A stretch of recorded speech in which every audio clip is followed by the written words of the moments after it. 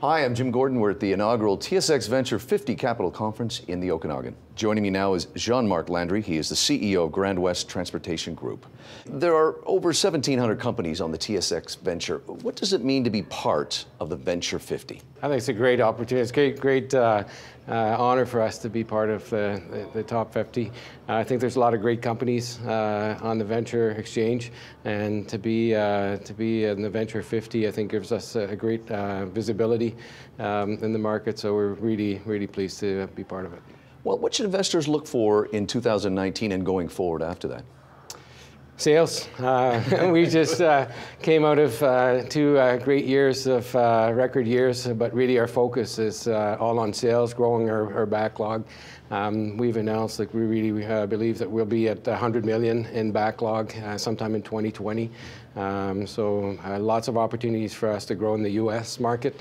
Uh, we're also expanding our product line. Uh, we've recently announced that we've launched a uh, smaller um, version of our uh, Vicinity bus called the Vicinity LT. Mm -hmm.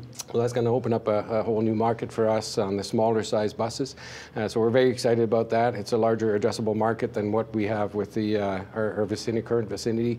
Um, we're also uh, announced that we're fast tracking uh, our electric bus project, so we'll have the uh, vicinity in electric uh, propulsion, zero emission, uh, sometime later in 2020. So lots of exciting things to look for. It's good to hear. Uh, talk to us a bit about the company and their impact on the community it's in.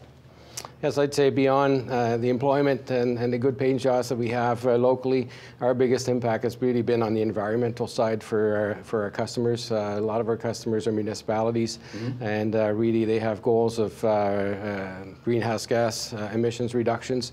And our bus is 30% more fuel efficient than most of the big buses running out there. So I think that we're having a huge impact on that.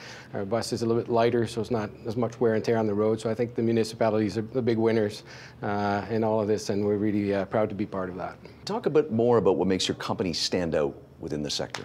Okay. I'd have to say that really the, the biggest thing is, is our business model. Uh, we have a very unique uh, business model in the sense that we, uh, we outsource uh, and partner with, uh, with other companies a lot. Mm -hmm. the main one being the assembly. Uh, we've been very uh, successful at uh, securing some, some, some agreements to do some assembly for us uh, overseas and now in the U.S., most recently, recently in the U.S. Uh, and that's really given us the, uh, the ability to scale up or adjust down if needed um, with, with very minimal impact or cost impact to us. So I think that's enabled us to be able to capture opportunities very quickly when they, when, they are, when they arise and really adjust uh, when uh, in, in, different directions when we need to. So I think that would be uh, definitely a, a, huge one. We've also partnered with a lot of companies on the engineering side, so we're very quick and efficient to uh, engineer and, uh, and bring new products to the market. So I think those would be the main ones. Thanks for joining us today. Thank you very much.